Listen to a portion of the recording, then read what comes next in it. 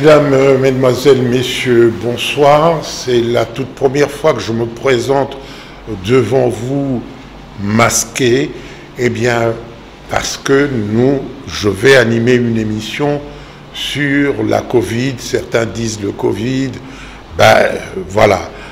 Et dans cette émission hybride qui est en même temps profondeur et en même temps intello, parce que je reçois le docteur Jean-Marie Kayembe, il est professeur, il a été, il a eu deux mandats de vice-doyen chargé de la recherche à la faculté de médecine, deux mandats de doyen à la même faculté. Il est interniste et spécialiste en pneumologie.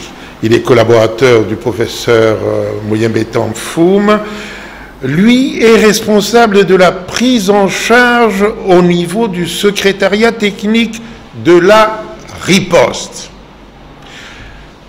Vous comprenez pourquoi je suis donc complètement masqué. Professeur Jean-Marie Kayembe, bonsoir et bonjour. Bonsoir et bonjour. Je vais vous demander, pour les téléspectateurs quand même, de vous découvrir pour quelques minutes, euh, comme ça, voilà, euh, c'est quelqu'un que vous avez sûrement déjà rencontré puisqu'il est dans tous les forums. Alors, professeur, beaucoup de gens meurent au Congo, dans les grandes villes, particulièrement à Kinshasa. Je viens euh, de la morgue de Galliema les images que j'y ai vues, je vais vous les euh, proposer. C'est des images d'attroupement des gens. Jetez un petit, un petit coup d'œil. Regardez. Voilà. Des gens qui attendent la sortie des corps de, de leurs frères. Euh, quand vous sortez de l'hôpital Ngaliema, vous longez la route, vous arrivez à la clinique quinoise, même spectacle, des gens en noir, beaucoup, beaucoup de gens. Est-ce qu'on n'aurait pas pu organiser un peu tout ça? Parce que euh, les mesures barrières que, l'État, que le président de la République a, sont foulés aux pieds là. Quelle est, quelle est votre réponse devant ce spectacle? Oui, ma réponse est un constat pas très réjouissant. D'abord parce que c'est une instauration, une mesure édictée au plus haut sommet de l'État, le président de la République, relayée par le gouvernement, mais également par le gouverneur de la ville de Kinshasa, donc tous ceux qui nous dirigent. Je suis prêt et le premier à comprendre la dimension sociétale du deuil dans nos cultures. Mais ces mesures barrières qui ont fait leur preuve partout au monde, qui découragent les grandes agglomérations, les attroupements, qui encouragent la distanciation physique, sont revenus en particulier sur la gestion des cérémonies funéraires. Il est important, on l'a fait au moment de la première vague, il est important que les gestionnaires de morgue veillent à ce que le nombre des personnes qui y accèdent pour accueillir, pour vénérer, pour recevoir, rendre le dernier hommage aux défunts, il faut que ce nombre soit tout à fait contrôlé. Aujourd'hui, c'est sans commune mesure. C'est totalement au-delà de, du non-respect d'abord du port correct du masque, mais j'en ai vu qui n'en avait même pas. Ben, c'est comme si on affrontait cette situation où l'on était encore dubitatif en ce moment où la troisième vague nous frappe en plein fouet. Je pense qu'il est temps que l'on se ressaisisse parce que la discipline pourra nous rendre des grands services dans la lutte contre le Covid-19, mesures médicales certes, mais mesures non médicales et celles restreignant les libertés individuelles et parfois les libertés collectives, elles doivent être appliquées si nous voulons nous en tirer. Oui, mais le problème, c'est que même les officiels, quand vous, vous, voyez les cérémonies officielles, c'est la même chose, même attroupement, c'est tout le monde qui veut qu'on le voit. C'est inexplicable. Oh, j'allais dire, c'est ceux qui édictent ces mesures qui laissent faire. Bah, il faut se dire absolument que c'est l'affaire de tout le monde. Observer les mesures barrières pour endiguer l'épidémie ne doit pas être le seul fait des officiels, comme nous disons.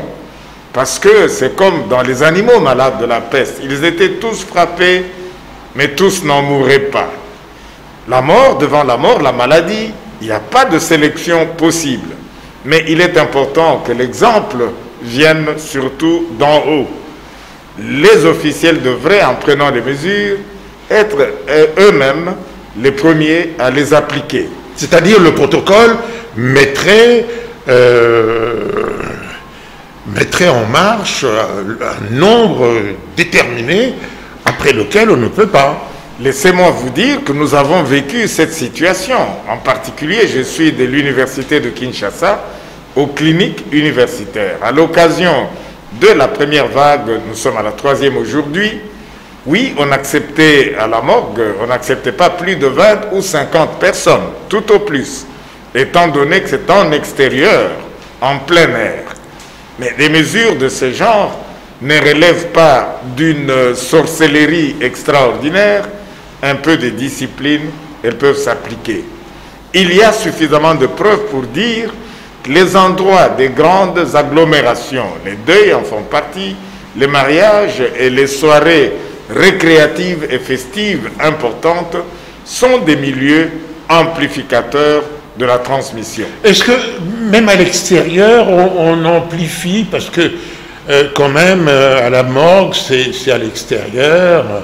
Est-ce que c'est un milieu vraiment amplificateur pour... Ben, il l'est il l'est lorsqu'on ne porte pas son masque, lorsqu'on n'a pas de distance comme entre vous et moi. En ce moment où nous passons cette émission, il y a plus d'un mètre entre vous et moi. Mais nous sommes en milieu fermé, quoique climatisé. La concentration des particules virales est plus importante là où il n'y a pas d'aération là où il y a une concentration, un milieu fermé. L'extérieur, bien sûr, est un tant soit peu protecteur quant à ceux, mais l'extérieur devient extrêmement dangereux aussi lorsque n'est pas observé une distance. On a l'avantage que dans cette pathologie, l'avantage est à la fois le risque que dans cette pathologie, près de 85% qui la font ne présentent pratiquement pas de symptômes ou en présente, mais des symptômes bénins, comme la perte de l'odorat, la perte du goût, que vous ne savez pas détecter, parce que vous ne goûtez pas la salive de celui qui n'a pas de goût, sauf si il vous le rapporte lui-même. La discipline est importante, l'observance des mesures barrières l'est également. C'est la discipline, entre autres, qui a permis à la Chine, pourtant le point de départ de cette épidémie, d'assurer un certain contrôle au jour d'aujourd'hui de cette pandémie Bon, j'ai commencé au début, euh, j'ai montré des images euh, qui avaient beaucoup de, de morts.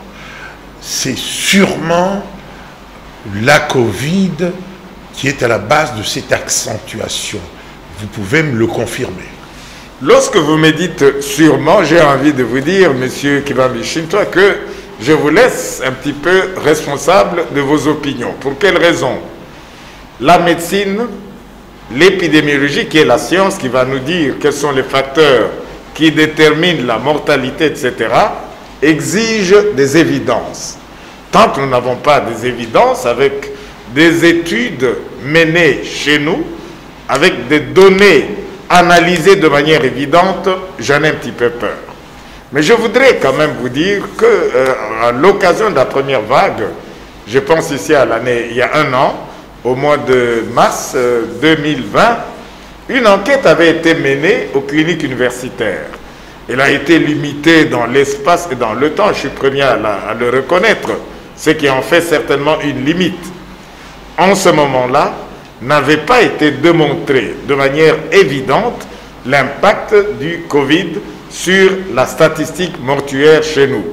Mais à l'heure d'aujourd'hui, je suis convaincu que si l'on reprenait les données et si on les actualisait, quand même, un impact éventuel du Covid pourrait être retrouvé.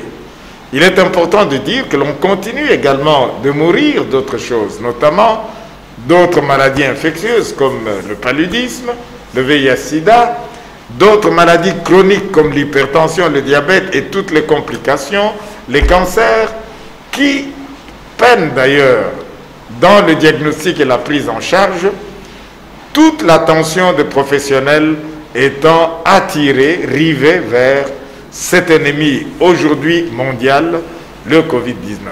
Ça retarde un peu la, la surveillance d'autres pathologies et en ce moment-là, la mortalité imputable à ces autres pathologies a tendance, et ça c'est un constat mondial, une crainte universelle et mondiale, c'est un constat qui est réalisé partout. Ben, euh, le constat que, que j'ai fait, que j'ai montré aux téléspectateurs, c'est du jamais vu. Un Galliema manque d'un Galliema plein de gens. Qui, clinique pleine de gens. Vous m'avez laissé responsable de mes dires, mais tout le monde serait d'accord avec moi qu'il y a quelque chose qui à la base, et c'est cet ennemi commun. Oui, c'est une chose que tout le monde soit d'accord, mais la science, elle est un petit peu têtue en ce qu'elle se veut, et là, je ne parle pas de la médecine, mais la plupart des sciences veulent quand même des avis avancés fondés sur des preuves. Oui, il y a tendance à dire tout de même, lorsqu'on suit, lorsqu'on regarde certains décès d'ailleurs dans la communauté, c'est en post-mortem, lorsqu'un test Covid est réalisé, qu'on s'aperçoit qu'il était positif. Donc il y a même là des données qui ne sont pas rapportées, qui nous échappent. C'est possible. Et les équipes d'épidémiologistes absolument sont invitées et sont en train absolument de le faire. On doit pouvoir examiner le fait de mortalité si l'on voudrait endiguer ou tout au moins mitiger la fréquence ou le taux de létalité dans une communauté. Nous aurons certainement des réponses plus appropriées et fermes quant à ce. Docteur, je vais parler de, moi-même comme euh, mon jeune frère. Euh, euh, Christian de Sacco nous l'avait fait, je n'ai rien, je sens rien du tout. Mais je sortais d'une grippe. Et puis, euh, je me dis, euh, je vais me faire examiner, j'ai des relations, je vais me faire examiner ensemble avec tous mes garçons. Euh, au sortir de là, on me dit, vous êtes positif. Et je viens vous voir. Et vous faites d'autres examens qui démontrent qu'on est au début, mais qu'il y a péril en la demeure. Alors qu'en Europe, me dit-on, quand vous avez la Covid, on vous dit quarantaine ou quatorzaine. Et vous m'avez fait peur parce que il y avait même des choses qui allaient vers, vers les reins. C'est-à-dire que vous en, vous en, vous en connaissez, ou vous n'en connaissez vous n'avez pas fait le tour de la, de la question, mais vous êtes au fait de beaucoup de choses, docteur, pour la prise en charge en République démocratique du Congo. Oui, Dire qu'après plus d'un an de gestion de cette pathologie, nous n'avons rien appris, ne serait rien d'autre que de la fausse modestie. Mais il est important de reconnaître que cette pathologie nouvelle pour tout le monde nous apprend avant tout l'humilité.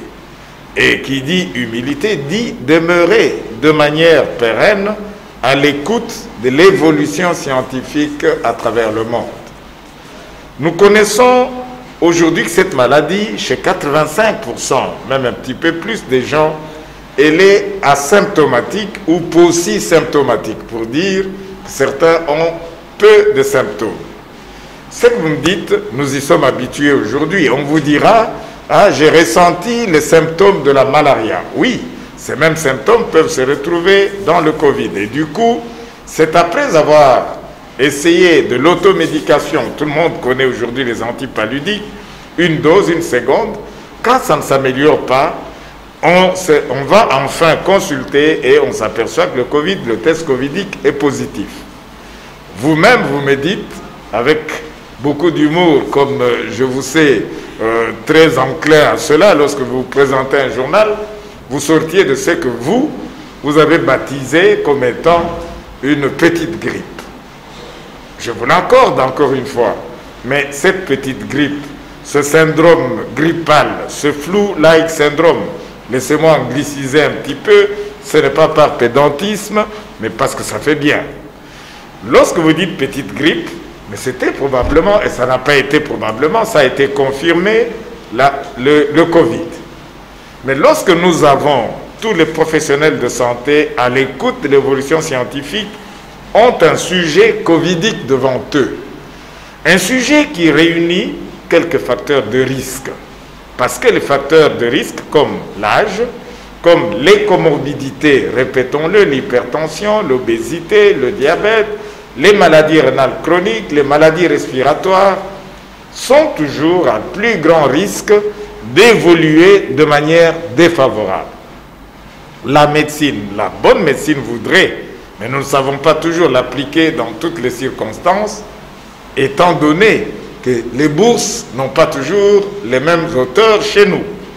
Je vous ai reçu, vous me permettez d'en parler, c'est la raison pour laquelle je vends pratiquement le secret professionnel.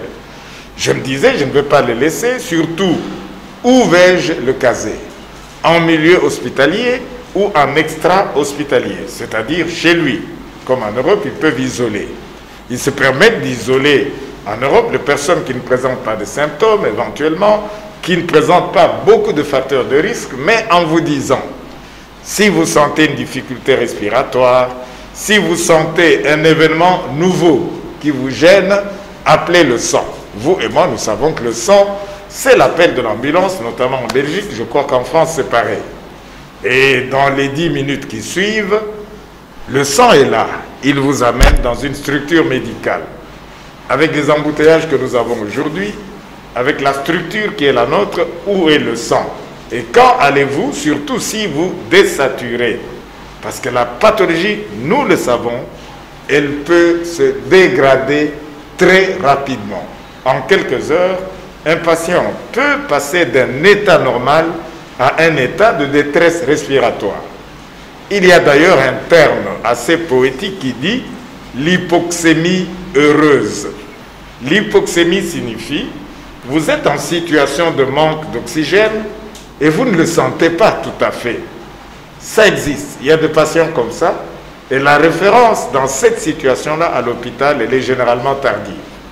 Donc, pour éviter des situations désagréables fréquemment, nous avons ce que nous appelons quelques marqueurs biologiques pronostiques. À côté de la clinique, c'est vous, c'est le sujet. Est-ce qu'il a des facteurs de comorbidité, etc. Nous avons établi une échelle de fragilité qui nous permet de choisir assez rapidement quel sujet peut être suivi à domicile, lequel référer le plus rapidement possible parce qu'il a besoin d'oxygène. C'est en utilisant notamment un petit gadget, je l'appelle gadget, c'est le saturomètre, l'oxymètre digital. Vous le mettez au doigt, il vous affiche, vous avez dû vous en procurer d'ailleurs, et de telle manière que vous étiez pratiquement en télésurveillance, connecté à votre médecin, à qui tout le temps avec l'humour, je répète, qui vous caractérise, vous pouviez chaque fois transmettre votre tableau de saturomètre. Mais il y a des marqueurs pronostiques biologiques. Il y a le scanner thoracique qui devrait être réalisé. Le mien était à quel niveau? Vous étiez à peine à 10% d'atteinte pulmonaire.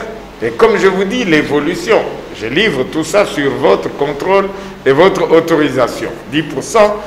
Mais on a tout mis en œuvre pour que vous n'évoluiez pas vers de 10 à 20 à 50. On a parfois des sujets qui sont admis à l'hôpital à 80%.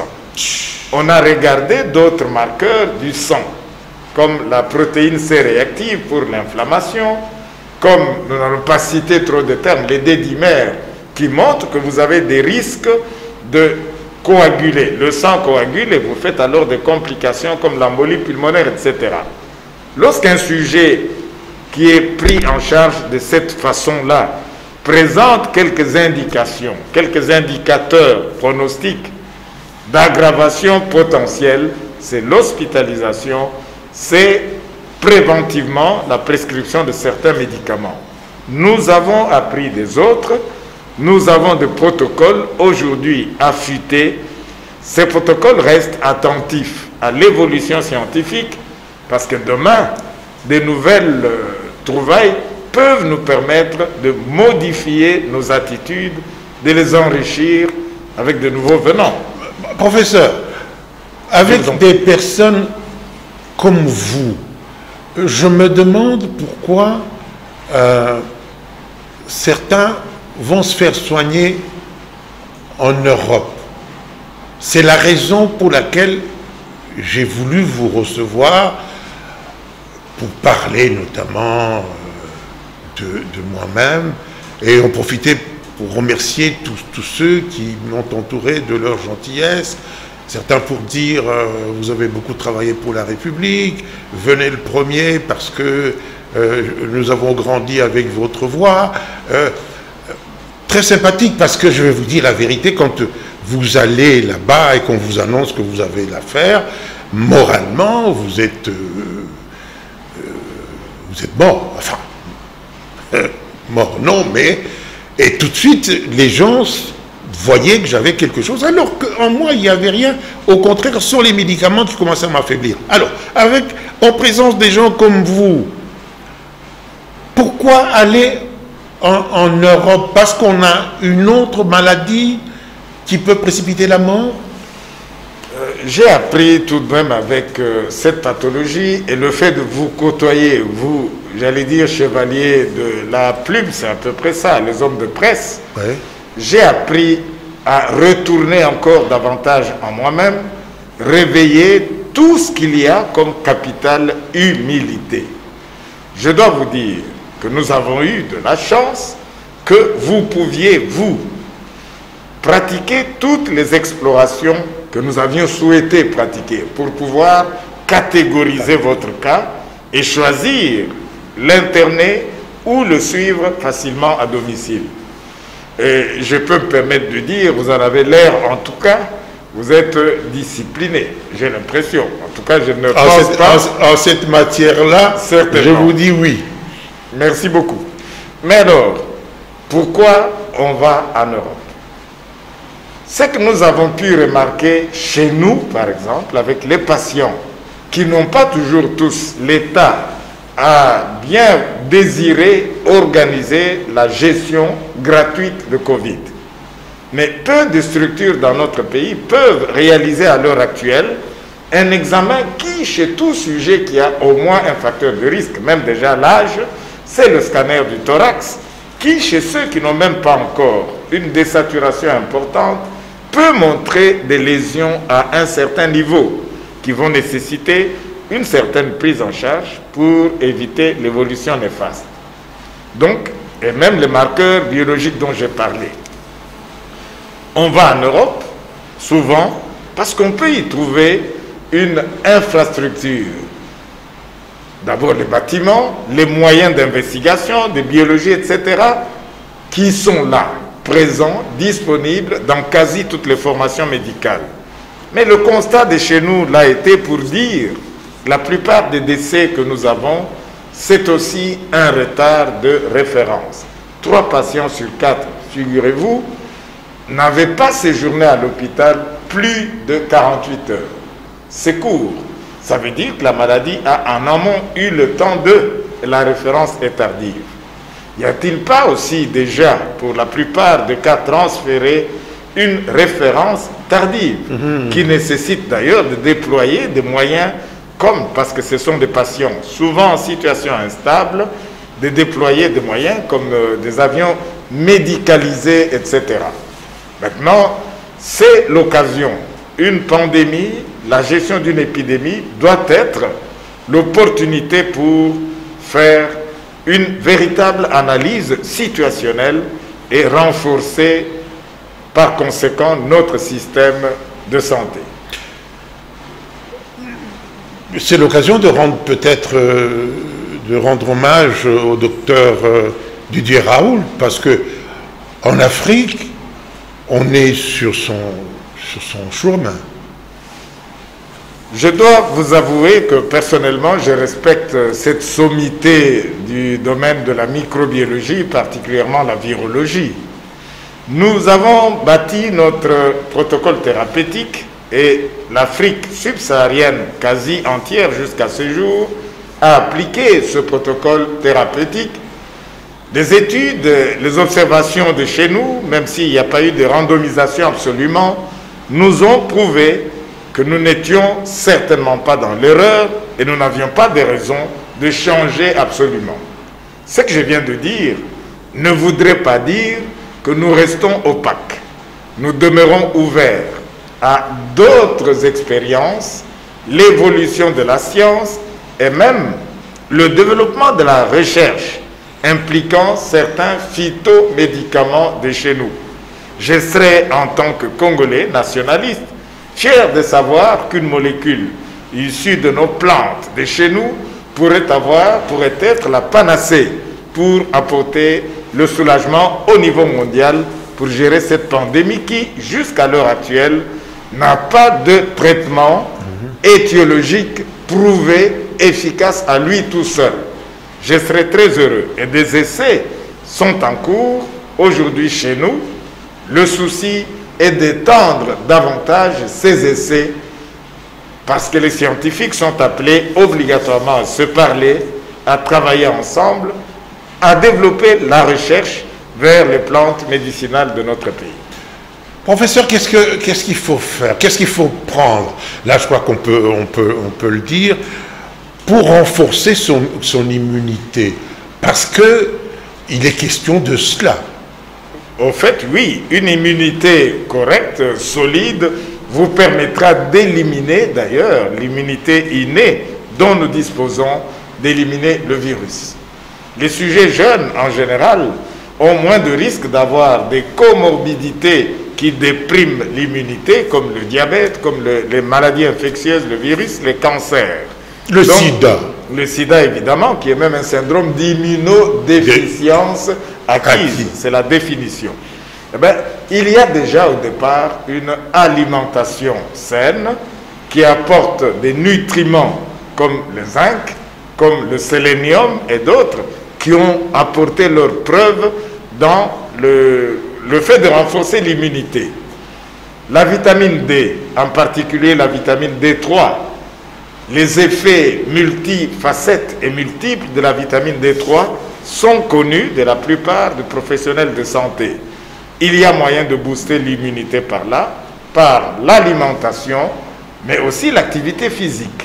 L'activité physique et le sport. Je ne parle pas ici du sport de très haut niveau qui lui déprime d'ailleurs à certains moments l'immunité, mais une activité physique régulière booste également le système immunitaire. Mais, dans les moyens de prévention, pour obtenir assez rapidement au niveau d'une collectivité, d'une communauté, une prévention, une immunité suffisante, il y a la vaccination, qui dans notre pays nécessite encore un coup de pouce important par vous, par les scientifiques, par les leaders d'opinion qui peuvent apporter le vrai message.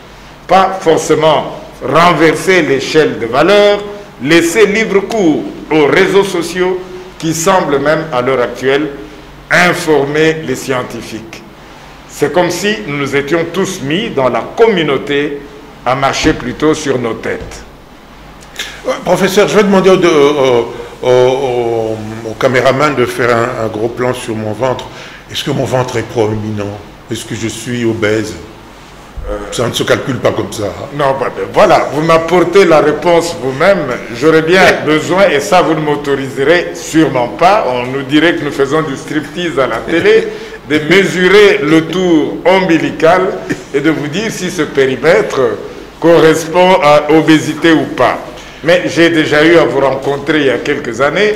Je dois vous avouer que je vous préfère comme ça. Vous êtes un petit peu plus svelte et un grand euh, tennisman, je pense d'ailleurs. Un grand, un grand, un grand. Nous demandons au ministre de Sport de vous mettre sur la liste de ceux qui défendront le pays Merci. aux prochaines opérations À cet âge déjà, ce n'est pas possible.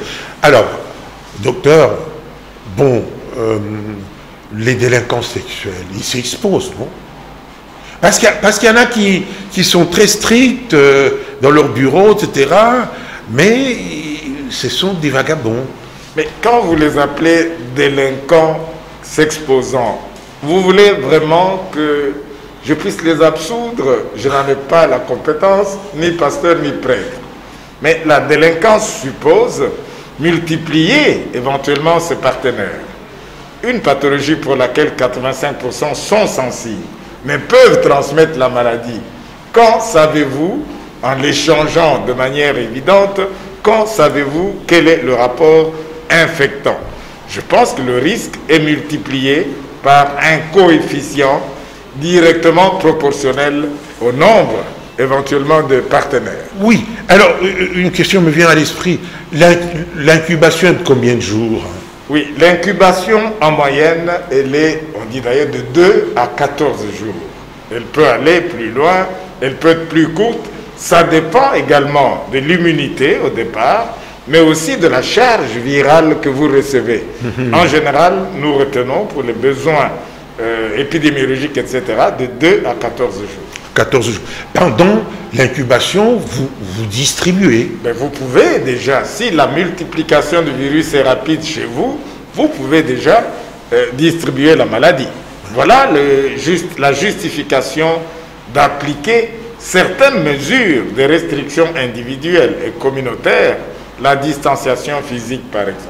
Oui. Euh, est-ce que c'est nécessaire d'expliquer les quelques euh, mesures barrières, je crois que tout le monde les a, les a, les a comprises. Oui, je pense. Mais pourquoi est-ce qu'il porte un masque? Oui. C'est pour savoir qu'une des principales portes d'entrée de ce virus, c'est lorsqu'on parle, on postillonne, on chante, on élimine des gouttelettes dans l'environnement. Ces gouttelettes, au-delà d'un mètre, certains disent même deux, peuvent aller, vous les inhalez, vous attrapez. Mais le masque, c'est un écran, c'est une barrière naturelle. La distance physique également, on peut la comprendre en ce que ce virus a un poids moléculaire assez puissant, assez fort. Sauf quelques fines particules aérosolisées peuvent euh, parcourir des distances très importantes. Sinon, à moins d'un mètre, elles gravitent, elles tombent et infectent notamment les surfaces comme la table, etc. Lorsque c'est ça, vous êtes à distance correct, au-delà d'un mètre, le risque est moindre. Nous avons parlé de l'écran par le masque, nous avons parlé de la distance, mais pourquoi laver régulièrement les mains, etc. Vous pouvez passer la main sur une surface qui a été contaminée par des particules qui sont tombées dessus. En passant cette main sur les muqueuses, qu'elles soient conjonctivales, du nez ou de la bouche, le risque y est également. Donc, c'est justifie le lavage régulier de mains à l'eau et savon ou avec le gel hydroalcoolique dont chacun peut se prémunir. Quand on a été euh, soigné euh, ou guéri de, cette pathologie, euh, on est un peu immunisé. Non oui, il faut reconnaître. Tous les scientifiques au monde acceptent, même si le consensus est loin d'être établi en termes de durée. Après avoir fait Covid, nous avons des réinfections qui ont été décrites. Le pourcentage est faible. on pense que le sujet qui a fait développe des anticorps qui peuvent durer 3 à 8 mois, voire même un an. Il y en a qui ont décrit, il y a des, auteurs qui ont rapporté des durées plus longues. Tout ce qu'il faut dire aux personnes qui ont fait la maladie, c'est de, de continuer d'observer tout de même les mesures barrières. Et certaines, c'est de se faire vacciner lorsque, parce que le vaccin renforce et booste, c'est connu, l'immunité des sujets. Quand se faire vacciner, tout le monde est d'accord aujourd'hui pour dire qu'une personne qui a fait la maladie peut se contenter d'une seule dose, même pour les vaccins qui sont réputés administrés en deux doses au moins. Donc, voilà, il faut continuer la discipline et l'observance des mesures barrières, parce qu'on ne sait pas, le sujet A peut refaire une maladie à un temps record, plus court, le sujet B rester plus longtemps, mais n'est pas penser que le fait de l'avoir fait vous dédouane complètement et vous pousse à obtenir un mode de vie totalement indiscipliné, etc. Sûrement pas.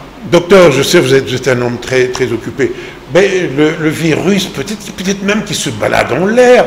Alors quand vous, êtes au volant de votre voiture, vous êtes, euh, vous êtes seul, peut-être continuer à porter le masque parce qu'il peut, il peut entrer et, puis vous... Euh, d'une part, il y a le virus, de l'autre, c'est ne pas développer la psychose du virus. Ah Comment faites-vous? Je suppose que vous ne dormez pas avec votre masque. Ou quand vous êtes chez vous, vous ne l'avez pas tout le temps. Vous êtes seul dans votre véhicule. Pourquoi le masque?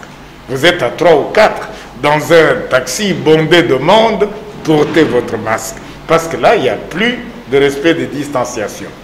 Il faut savoir que les particules virales se concentre davantage en milieu fermé.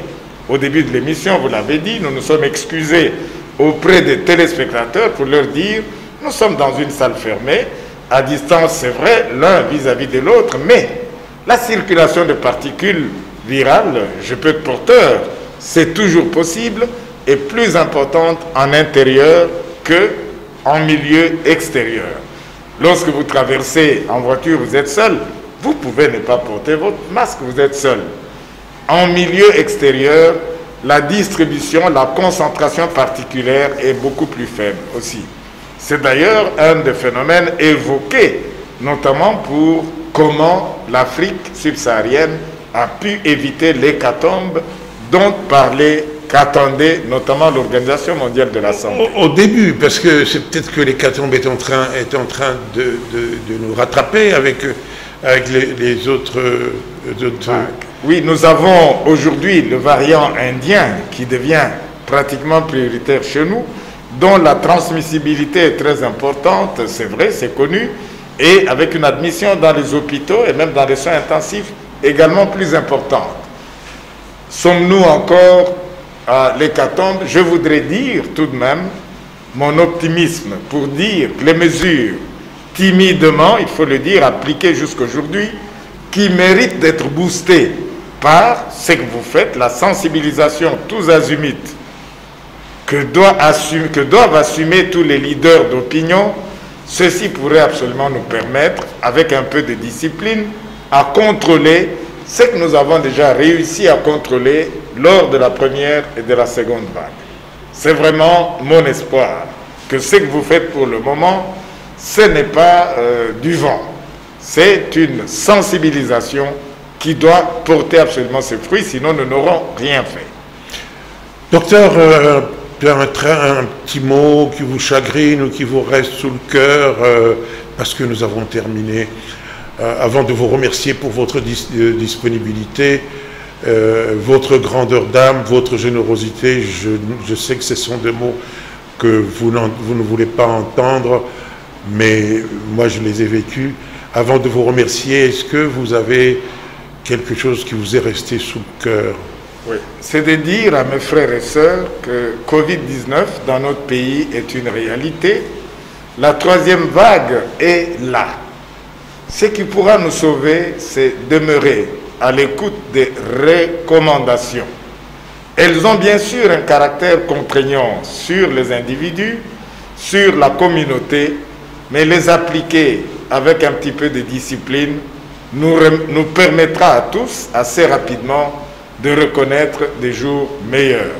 C'est ensemble, c'est l'affaire de tout le monde que nous vaincrons, le chef de l'État l'a dit, un ennemi, mais qui a, lui, la caractéristique d'être un ennemi invisible.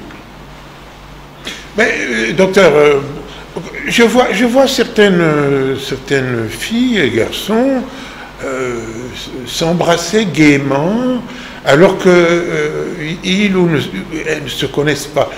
C'est quoi? C'est parce qu'elles n'en ont jamais entendu parler ou parce que nous, nous le faisons en français? Qu'est-ce qui se passe? Ben, il y a des émissions de sensibilisation en lingala, etc. C'est ce que nous avons ici appelé tout simplement l'irresponsabilité quelque part.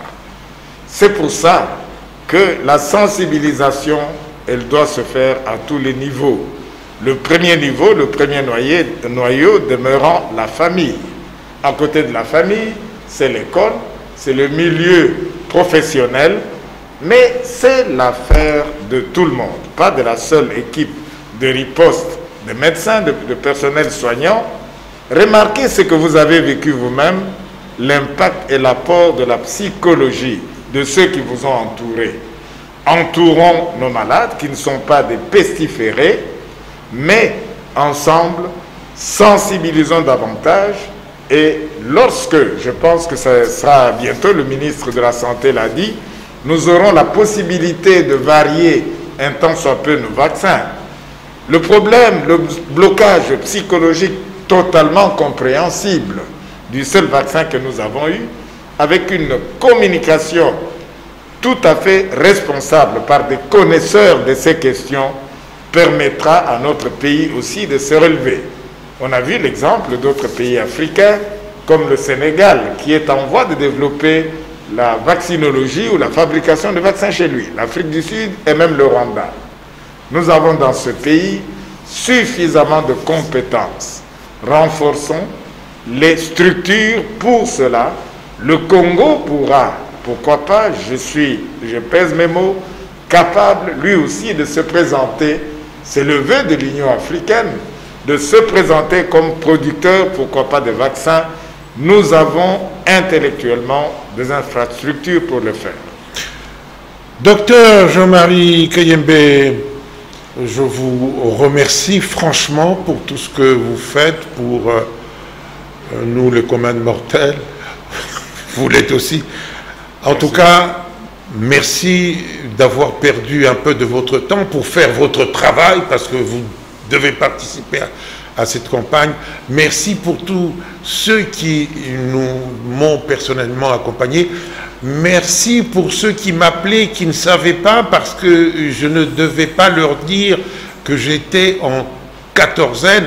Et le docteur, sévère qu'il est, tout en étant gentil, il voulait que ça soit 14 jours, et c'était 14 jours enfermé chez moi. J'en suis sorti Merci docteur et au revoir. Merci bien, monsieur. Au revoir. Mesdames, Mesdemoiselles, Messieurs, euh, l'émission est terminée. Bonsoir et bonjour chez vous.